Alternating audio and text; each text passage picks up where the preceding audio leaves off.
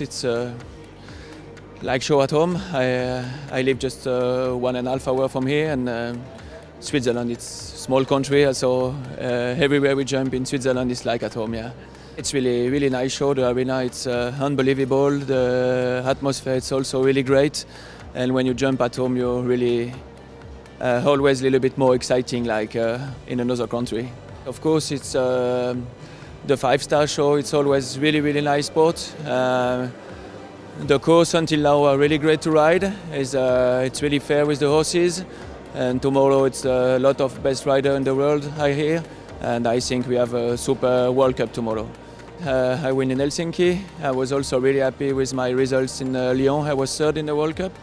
Um, in Mechelen, uh, I have one down, but okay, that's can that's can happen. But uh, I think I'm already qualified for the final, and I'm really happy with this.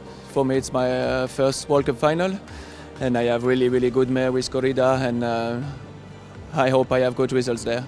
Yeah, it's amazing. It was uh, for me. It was a really big thing, and uh, I'm really happy about it. And uh, yeah, my phone was not standing still for two days. That was amazing.